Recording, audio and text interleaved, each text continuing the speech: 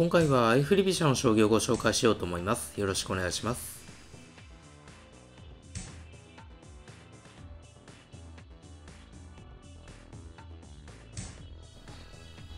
相手は今回三間飛車でしたね。こちらも三間飛車にしようと思います。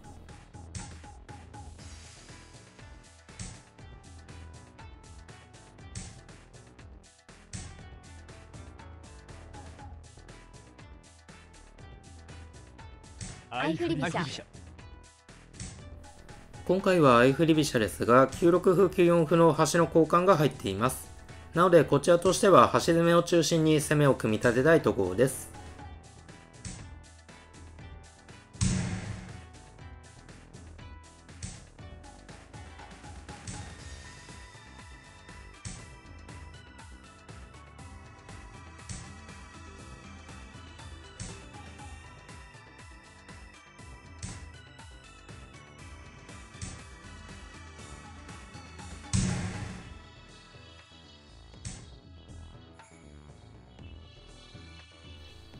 歩が2枚入ったので、ここは端を攻めたいところですね。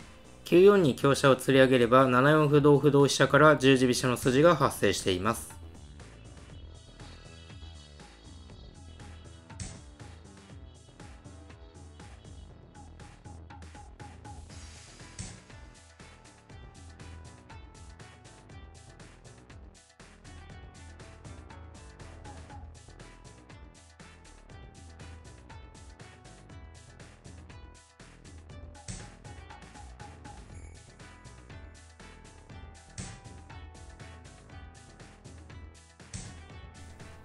この時に相手は9四香車と逃げることができません。先ほど言った通り7四歩同歩同飛車から十字飛車があるからですね。なので景況交換が確定となります。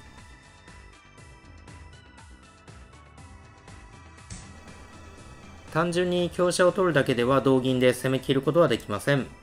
なので9二に歩を垂らすのが手筋の攻めとなります。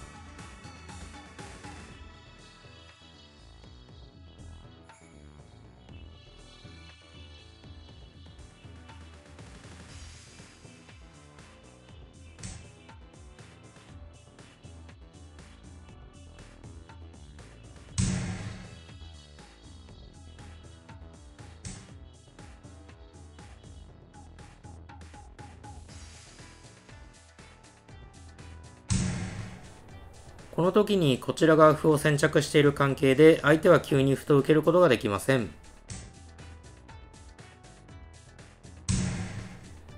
次に9一歩成同銀9三香成の攻めがあるので相手は非常に受けにくい状態となっています。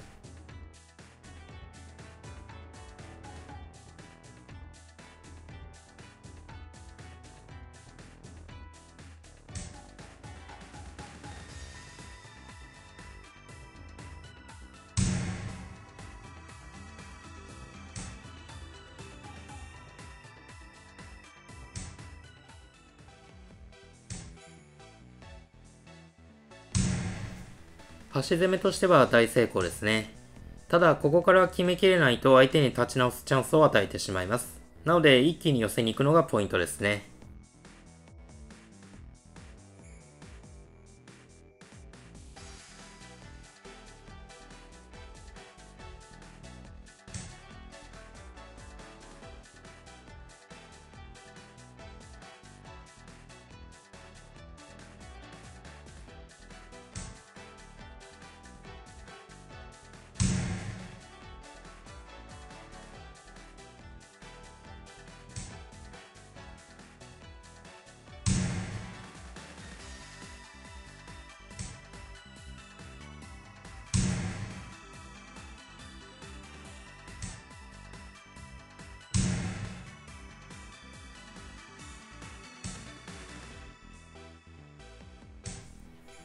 飛車と角を存分に使って相手の持ち駒の経験を使わせることに成功しました。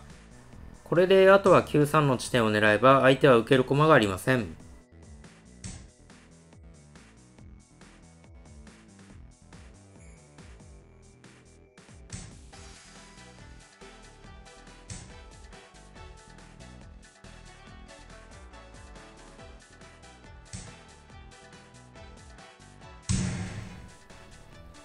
飛車を成ることに成功しました。順調な攻めが続いていますね。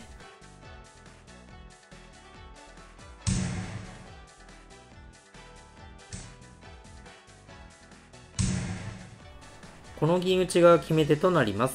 7一玉だったら竜を切って7二金の即詰みですね。さすがの腕前じゃのうはい、今回は相振り飛車の将棋をご紹介しました。端を付き合っている場合はいつでも端攻めが効果的な攻め筋となります。ご参考になれば幸いです。それではご視聴ありがとうございました。チャンネル登録やいいねボタンよろしくお願いいたします。